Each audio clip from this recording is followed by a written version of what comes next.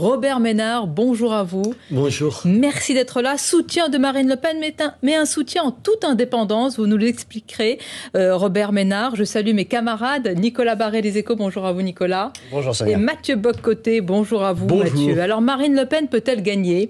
En tous les cas, un vent porteur souffle. Dans les sondages, l'écart au premier tour, on vient de l'entendre dans notre journal, se resserre avec le président sortant. Et au second tour, son réservoir de voix est conséquent. Nous allons en parler, mais tout d'abord, Robert Ménard, hier, ce fut le premier et dernier grand meeting d'Emmanuel Macron, un show conçu euh, un peu à, l'américaine. Est-ce que selon vous, le président a retrouvé un peu du feu sacré du candidat?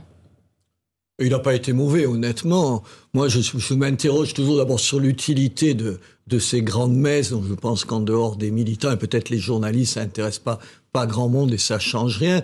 Sur le gigantisme, je suis pas sûr que ce soit trop dans l'air du temps. Je croyais que les gens, entre la guerre et puis les problèmes euh, de pouvoir d'achat et tout, je sais pas, les gens ils doivent se dire qu'est-ce que ça coûte ce, ce, ce genre de truc.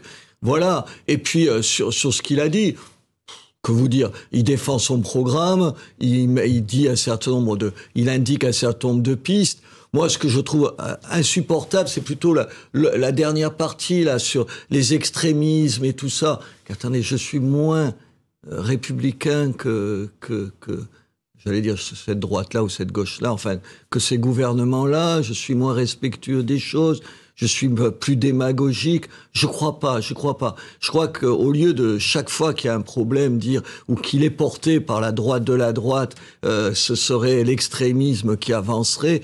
Euh, je pense qu'ils que comprennent rien. Là, vraiment, ils comprennent rien. On va revenir, Robert Manard, sur effectivement ce que dit Emmanuel Macron. Le rempart, on connaît l'argument depuis très longtemps face à l'extrême droite. Mais tout d'abord, vous n'êtes pas un opposant systématique euh, ni pavlovien au président de la République. Pourquoi Est-ce que euh, c'est de la lucidité de votre part ou est-ce que c'est une part d'habileté pour ne pas insulter l'avenir? Beaucoup se posent la question. Euh, c'est vous qui m'insultez quand oh, vous me dites je rigole, je rigole, je rigole. Non, je, je, suis maire, je sais bien que les choses sont un peu plus compliquées. J'ai appris en huit ans dans, à la tête d'un exécutif, même si c'est une petite ville de 80 000 habitants. Vous savez bien que, que le réel, il est plus compliqué que les concepts à, à, à manier. Et puis je, je déteste, je déteste chez moi qu'un certain nombre de mes opposants disent non à ce que je dis uniquement parce qu'ils sont mes opposants, je vais pas être aussi débile. Enfin, je sais pas moi sur sur ce qui ce qu'il a fait, j'en sais rien. Qu'est-ce que je prends sur le, le pass sanitaire Je l'ai beaucoup critiqué au début de la, de la crise parce que je pensais que ils expliquaient que les, les, les masques ça servait à rien simplement parce qu'ils en avaient pas, ce qui n'était pas tout à fait la même chose. Mais après le pass sanitaire, je trouve que c'est une bonne idée. Moi, j'étais pour la vaccination obligatoire. C'est pas parce que c'est le chef de l'État qui le dit que je vais dire que c'est une opposant lucide. Non, mais j'essaie juste d'être un peu moins débile que, que le traitement qui m'est réservé de temps en temps. C'est pas parce que les gens, dès attendez, pendant des années, dès que je disais quelque chose, les gens, ils disaient non avant même que j'ai fini ma phrase. Et puis, sur l'Ukraine, vous savez, moi, je suis un primate dans la vie, mais d'une simplicité incroyable. Je me dis, voilà, il est chef de l'État. Un, j'ai pas honte qu'il soit chef de l'État. Il tient face à Poutine sur la scène internationale. Vous des qualités dans la gestion de la crise. Ben oui, bien sûr. enfin, et, puis je me dis, est-ce qu'il y en a un de tous ceux qui sont là qui serait mieux que lui à ben, sa place Peut-être celle que vous soutenez. Sinon, non, euh, sur ce terrain-là, non. sur ce terrain-là, non. Sur la politique étrangère ah et les, affaires du monde, Marine Le Pen n'est pas capable. Non. Enfin, attendez, mes amis, ils ont tous été pro-russes. Attendez, c'est pas possible. Et il, le redeviendrait demain si la guerre était, était terminée. Je trouve ça insupportable. Peut-être parce que je viens de Reporters Frontières. Moi, mes copains, mes copains journalistes, mes copains journalistes en Russie, ils en prennent plein la gueule. Ce qui me fait dire d'ailleurs de temps en temps, même être critique par rapport à M. Macron. Quand il décide d'interdire les médias russes, vous savez, mmh. RT, et, Sputnik D'abord, personne ne les écoute, alors on va, va se calmer avec ça. Surtout que c'est. si, ils avaient une certaine audience. Enfin, ça va, une certaine audience. Ah, bah, t'as trois, trois lapins de Garenne qui les écoutent, on va se calmer avec ça. Je finis juste. Mais on, pourquoi j'étais contre? Parce que j'ai été 20 ans le patron de Reporters Frontières et que je sais que c'est le meilleur argument qu'on donne à Poutine pour qu'il s'en prenne à nos copains là-bas. J'essaye de faire de la politique, euh, pas, pas, différemment, je ne suis pas mm. mieux que les autres, mais en étant. en, en n'ayant pas tout de suite cette espèce de, vous savez, euh, d'attitude pavlovienne qui fait que quand c'est les gens qui pensent pas qu'ils sont pas du même bord que toi, ils ont tort. Non. Donc la sur... Marine Le Pen est pavlovienne. Sur ça, oui. Non, mais là, ça va plus loin. Je veux dire, il, la droite de la droite, pour pas dire euh, pour certains l'extrême droite, je veux dire, ils aiment cette espèce de virilité euh, de, de, Poutine, ce nationalisme et tout ça. Robert Ménard, vous allez me trouver terre à terre. Je vais vous poser directement la question ce matin. Vous êtes un soutien de Marine Le Pen. Votre temps de parole, il est compté pour Marine Le Pen. Donc on vous entend quand même, c'est un soutien avec beaucoup de nuances et d'indépendance. Mais moi je le dis à Marine, parce que de temps en temps je me dis, quand mon, son temps de, mon temps de parole est pour elle, elle doit de temps en temps se retourner dans sa couche. J'en ai parlé avec elle. Je suis aujourd'hui, qui en dehors de son parti la soutient? Comme euh, qui, euh, qui fait de la politique un peu niveau national. Vous son seul ralliement? Mais non, mais moi, je suis pas son ralliement, je suis pas rallié à elle. On s'est pas parlé pendant trois ans avec Marine Le Pen, tellement elle m'a exaspéré, c'était réciproque. On se reparle depuis un an maintenant. Je trouve qu'elle change. Je trouve qu'elle change. Enfin, attendez, là aussi, à part... Est-ce que vous changez? Mais oui, bien sûr que je change. Vous changez pas, vous. Marine, elle fait une meilleure campagne qu'il y a cinq ans. Elle est moins sectaire qu'il y a cinq ans. Elle, elle s'est interrogée sur un certain nombre de choses. Avant, tu lui disais un mot, c'était avec elle ou contre elle. Tu pouvais pas critiquer sans devenir un ennemi. Aujourd'hui, elle est pas comme ça. Elle, moi, il y a des choses sur lesquelles je suis pas d'accord avec elle, mais quand même, elle a changé dans le bon sens. Il y a deux ans, je crois, j'espère ne pas me tromper sur la date, vous avez publié un petit ouvrage euh, à la nouvelle librairie, je crois, Thérapie de choc. Vous disiez que la France a besoin d'une thérapie de choc, une vraie rupture. Est-ce que Marine Le Pen porte aujourd'hui, malgré vos désaccords avec elle, cette thérapie de choc que vous souhaitez pour la France? Je suis pas sûr que le mot thérapie de choc ait été le bon mot. Mais c'était bien le titre de votre livre. Oui, bien, mais attendez, je peux avoir écrit des conneries. Ça. Si c'est ce que vous voulez me dire, je vous le dis. Non, non, non, vous en écrivez beaucoup, mais vous, vous trompez jamais.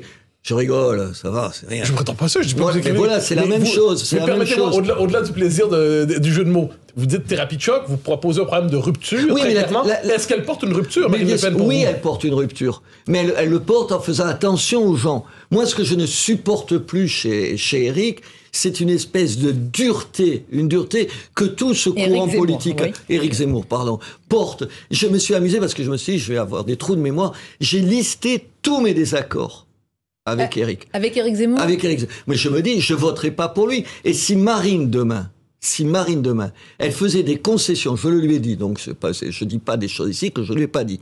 Si elle faisait des concessions à Éric sur ces désaccords-là, ce sera sans moi. Alors, savez ce qu'on va faire Attendez, Robert Ménard, dans quelques instants, vous nous direz, c'est intéressant d'avoir cette liste de. Non, vous avez compris, parce que c'est bien sûr.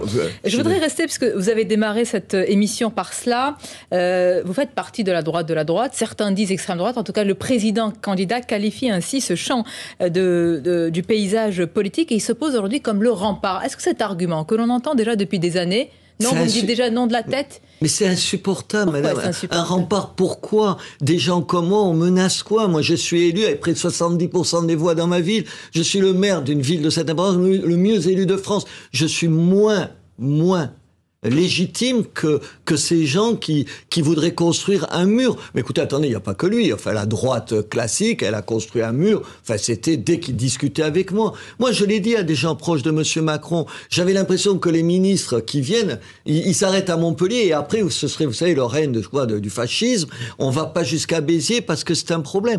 Qu'est-ce que c'est ce mépris? Moi, je suis méprisant avec personne. Alors, je veux juste qu'on respecte l'élu que je suis et qu'on discute sur le fond. Mais ça veut dire, Robert que si on va vers un duel Emmanuel Macron-Marine Le Pen au second tour, ce mur, on va dire, euh, antifasciste que certains veulent dresser, pour vous, il est, euh, il est nul et non avenu? Il, fonctionnera plus parce que plus. Ça, c'est le, le seul service dans cette histoire où il y en a deux qu'Éric aura rendu. Un, c'est qu'il aura rendu plus audible le discours de Marine Le Pen en montrant qu'on pouvait être encore plus dur et plus à droite que, que Marine Le Pen. Et deux, qu'un certain nombre de gens qui n'auraient jamais voté Marine Le Pen, qui vous disent, qui vous disent, qu'ils vont voter Éric Zemmour. Parce que Marine Le Pen était à droite et Éric était moins à droite. Comment tu peux entendre ce raisonnement-là? Mais au fond, qui le disait parce qu'ils veulent pas voter pour un Le Pen, parce qu'ils veulent pas voter comme leur femme de ménage vote. C'est un, mhm. un, putain de position de classe derrière tout ça. Ah. Mais bien sûr, il y a un mépris de classe par rapport à Marine Le Pen, évident. Mais ça, Eric, il aura eu le mérite, pardon pour ma grossièreté, il aura eu le, mérite de casser ça. Et que, mépris de classe vis-à-vis de la candidate Marine Le Pen. Qui d'Eric oui. et de son électorat. Je le cite pour pas dire n'importe quoi. Le Pen a un électorat d'ouvriers, de petits employés, ils n'ont pas la même sensibilité à la guerre. Mais je t'en foutrais. ils n'ont pas la même sensibilité à la guerre. Et Éric Zemmour et ses copains, ils ont accueilli chez eux combien de réfugiés ukrainiens? Chez moi, qui? Qui prête sa chambre, qui prête, qui dit tiens mes enfants ils sont à ils sont à la fac maintenant, ils peuvent dormir à la maison. qui le fait? Je ne pardon, je ne supporte pas ça. Je ne supporte pas. Oui, c'est du mépris de classe. Mais vous l'attribuez oui. à quoi ce mépris de classe de, de, de la part d'Éric Zemmour? Vous l'attribuez à Mais quoi? parce que les gens qui l'entourent, parce qu'il est, ils ont quitté ce monde. Ce qui est incroyable, c'est-à-dire c'est quelqu'un qui vient. Des fois, tu as des retournements dans la vie, qui qui vient d'un milieu plus populaire. Il, le met en avant. et il, dit qu'il n'a pas quitté euh, ses origines lui-même. Donc. Et quand euh, tu écris ça, tu as quitté quoi ça Mais Robert Ménard, si je comprends bien, euh, pas de rempart contre Marine Le Pen, donc on a met un rempart contre Éric Zemmour s'il le faut de votre point de vue. C'est-à-dire, est-ce qu'il y a une forme de caractère des droits irréconciliables ah, entre vous et Zemmour aujourd'hui? Éric a. Êtes-vous irréconciliable a, violé, je cherchais le mot et je cherche un certain nombre de lignes rouges qui sont à mes yeux inacceptables.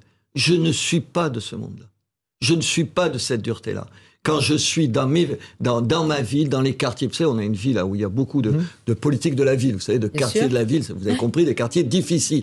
Quand hier, hier matin, je suis dans le quartier où j'ai passé mon adolescence, qui s'appelle le quartier de la Devèze, où il y a aujourd'hui 80% de gens issus de l'immigration, dont plein de femmes voilées, madame.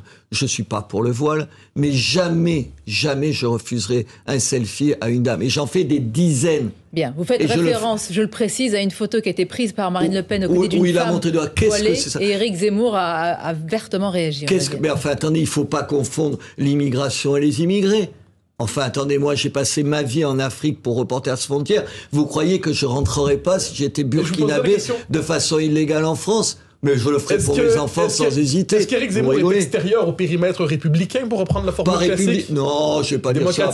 Non, non, mais euh, alors je suis pas de ce classicisme-là. Non, il est d'une dureté, d'une insensibilité, d'une radicalité dont on n'a pas besoin. C'est assez dur le monde aujourd'hui. Dans ma ville, qui est une ville pauvre, où les gens ont tant de mal, pas que chez moi, mais chez moi, je les vois parce que je suis leur mère, à, à, à payer le plein d'essence, à faire un certain nombre de courses et tout. tu tu vas dans le sens des gens, tu les câlines, tu divises pas encore un peu plus, tu jettes pas de l'huile sur le feu.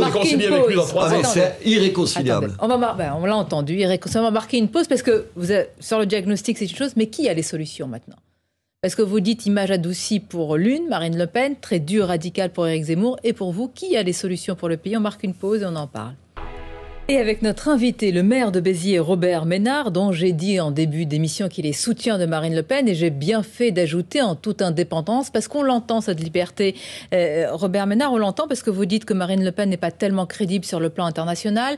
D'Éric Zemmour, vous dites qu'il a une radicalité qui vous heurte.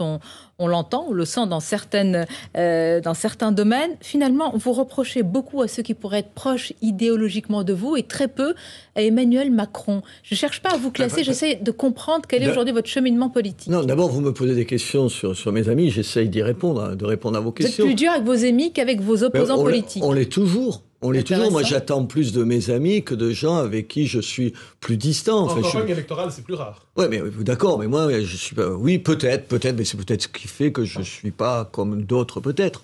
Non, j'ai pas envie, parce qu'on est en campagne électorale, je suis pas le fan club de Marine Le Pen et je suis pas militant de son parti et j'ai aucune responsabilité dans sa campagne. Donc, j'en parle librement. Et en même temps, je, dis que je voterai pour elle. Je voterai pour elle dimanche prochain. Donc, ça, ça remet pas ça en question. Mais j'ai envie d'une autre droite. Vous savez, là, on a une droite qui est repliée sur elle-même, qui est rabougrie, euh, qui a pas de souffle, qui est toujours passéiste. C'est tout ce que j'ai pas envie. pourquoi vous votez pour elle plutôt que pour Emmanuel Macron? Comment Pourquoi votez-vous pour Marine Le Pen plutôt que pour Emmanuel Macron Quelles sont vos lignes rouges avec Emmanuel Macron Pour des propos comme il tient hier sur l'extrême droite qui serait, je sais pas quoi, une, une maladie de, de la France. Et parce qu'il y a deux questions sur lesquelles je pense qu'ils sont les deux vrais trous noirs de, de son mandat. C'est la question de l'immigration même si je précise, moi je ne suis pas de ceux qui parlent d'immigration zéro, ça n'a juste aucun sens, euh, ni pratique, ni, ni, ni théorique, ça n'a aucun sens euh, sur ça et sur la sécurité, ou plutôt sur l'insécurité. oui, euh, oui, c'est vrai qu'il a mis, il va, il va vous le répondre, il va vous dire, moi quand je discute avec des macronistes, je me dis, oui, mais on a fait, on a créé 10 000 postes de, de, de, de, de policiers ou de gendarmes. C'est vrai. Et les 15 000, euh, et les 15 000 places de prison, elles sont où les 15 000 places de prison? Et quand vous êtes dans une ville où il y a un tribunal et des magistrats vous disent, mais écoutez, de toute façon, où on veut les mettre les, On va les mettre où les gens quand on veut les condamner? C'est ça. Donc Moi, pour l'aspect régalien, vous le retrouvez chez Marine Le Pen, et pour l'aspect plutôt conduite des affaires du monde, peut-être et même interne, vous le retrouvez chez Emmanuel Macron. Je trouve qu'il y a des qualités chez les uns et les autres. Mm. J'essaie de ne pas être manichéen, mais c'est vrai que la période, les périodes électorales, ça pousse pas à ça. Puis la France, au niveau des, des débats, c'est toujours une espèce de guerre civile qu'on se ferait. Moi, peut-être parce que j'en sais quelque chose des vraies guerres civiles, j'ai juste pas envie de ça. J'ai envie, quand M. Macron dit un truc positif, qu'est-ce que ça m'enlève de dire que c'est positif? Même en période électorale, on, on est, est-ce qu'on est obligé d'être absurde Et Marine Le Pen, quand sur l'immigration, elle a changé, elle est moins, elle est, elle est moins radicale. Dans les mots ou dans les faits Non, je pense, je, non, je pense pas seulement une image radoucie comme certains non, le disent. Non, c'est pas qu'une image. Honnêtement, c'est pas qu'une image. Je pense que ce débat calamiteux qui s'était, vous vous rappelez, dans l'entre-deux-tours, on l'a tous en tête. Je veux dire, tu peux ne pas t'en relever de ça. Elle aurait pu ne jamais. je pense qu'elle emporte des cicatrices. Je vois pour en avoir discuté avec elle, c'est douloureux et tout, mais elle s'est améliorée. Vous lui reconnaissez, bon, le mot résilience, il faut pas peut-être pas l'utiliser parce que vous parlez des guerres, faire attention, mais une résistance. Vous avez parlé de ce débat. Il y a eu les trahisons qu'elle a connues, y compris euh, dans son cercle le plus proche, le plus intime, familial, de tout ça. Elle s'est relevée, elle en a fait une force. Elle, elle, a appris. Aujourd'hui, elle, a, elle a plus de, elle a une dimension plus importante. Elle, est, elle est capable d'écouter sans mais, pourquoi pas de gagner selon vous? Parce que vous ne croyez pas en la victoire. Non, je pense que c'est, euh, j'allais dire, un trou de souris. Là, au vu des sondages de ce matin, tu te dis que la souris, elle pourrait être un peu obèse, euh, le trou pourrait être plus gros et on passerait quand même. Euh, je veux dire, oui, il y a quelque chose qui se joue là. Alors je ne sais pas de la part de M. Macron s'il le pense ou si, vous savez, il a peur qu'il n'y ait pas assez de, gens qui aillent voter pour lui et donc il, ah, il crée... Un... Édouard Philippe qui dit attention, Marine Le Pen peut gagner. vous, mais ça, ça a vous y voyez de l'artifice mais c'en est insupportable. Je, pense que ces gens-là sont suffisamment intelligents pour pas nous faire le coup, c'est de l'épouvantail, attention.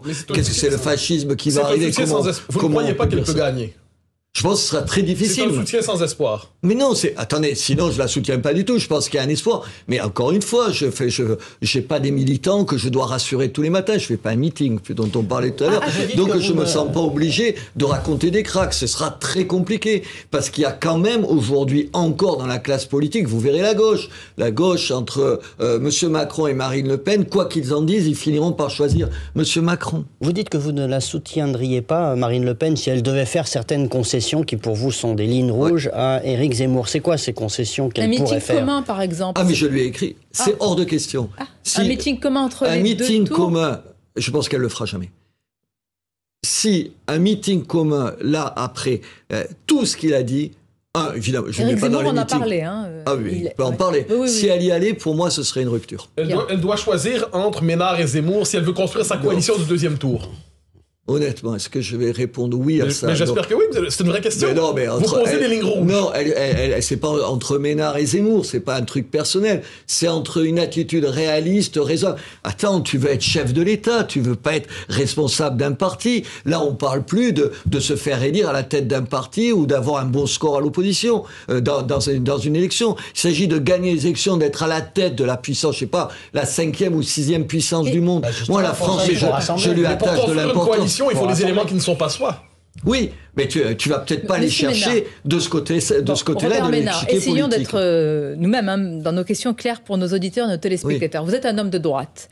Vous rejetez tout réflexe pavlovien de critique, etc. Vous avez cité Marine Le Pen, Éric Zemmour, Emmanuel Macron. Je m'étonne pour un homme de droite comme vous, vous n'avez pas cité du tout Valérie Pécresse. Voilà une femme plutôt solide sur les aspects régaliens, mm. dont on ne s'inquiète pas de la manière dont elle conduirait les affaires du monde pourquoi vous ne la citez pas du tout Ah, mais moi, pardon, je l'ai déjà dit. moi, si jamais il y avait, je l'ai dit euh, depuis des semaines, contrairement à mes amis, qu'entre M. Macron et Mme Pécresse, je choisirais Mme Pécresse. Mais en même temps, je regarde la campagne pitoyable qu'elle fait. Enfin, je sais pas, moi je la connais pas, donc j'en connais plein, mais elle, je la connais plein parce que j'étais journaliste et j'en ai interviewé plein et tout. Je la connais pas du tout, j'ai jamais eu affaire à elle. Euh, Oui, je sais pas. Est-ce que j'ai tort de penser que la forme a ce, a, ce point d'importance? Je veux dire, euh, si vous me demandez qu'est-ce que j'ai retenu, je suis pas le seul, de, de ce que dit Madame Pécresse, rien. C'est quand même un vrai problème, quand même. En tous les cas, euh, ouais, non, bah, vous avez le don de dire les choses que vous pensez, en tous les cas. oui, euh, bah, je lui en veux pas personnellement. Tout à l'heure, vous recevez M. Rotaillot. C'est un des types de droite qui m'impressionne le plus parce qu'il a une espèce de, de mécanique, de, de rigueur dans sa tête. J'en parlais avec Emmanuel ma femme qui me disait, qui est députée, qui me disait, c'est un type qui est capable de parler 40 minutes sans une note, en essayant d'avoir, je sais pas, un, vrai raisonnement et tout. C'est un type intelligent. Donc il y a des gens de qualité un peu partout. Mais, à la fin, où est-ce qu'on va retrouver Robert Ménard Il sera où finalement euh, au, soir du premier tour à 20h02 comme Vous, savez, vous, vous serez comme citoyen. Je parle pas comme la journaliste. Je suppose toujours que vous. ma place. Oui, non, mais ça, oui. temps hein, ici. Je ne sais pas ce que l'avenir nous dira. Mais vous, en tant que dans votre parcours politique, vous, ne savez pas. Je sais pas. Il y a une recomposition de la droite, ça ah. va être radical. Mais qui va mener cette recomposition? Aujourd'hui, il n'y a personne qui est capable de la mener. Sérieux, il n'y a, a, personne qui, qui va la mener aujourd'hui? Marine, je pense qu'elle aura du mal, Marine Le Pen, elle aura du mal à, si jamais elle était battue, quand même à repartir et tout. Qui? Eric Mais Eric, j'attends qu'il gère ses 130 000 militants. Ça va l'amuser à peu près 15 jours et on en reparlera après. Madame Pécresse, tu peux pas dire à la suite de cette campagne qu'elle Donc c'est Emmanuel Macron.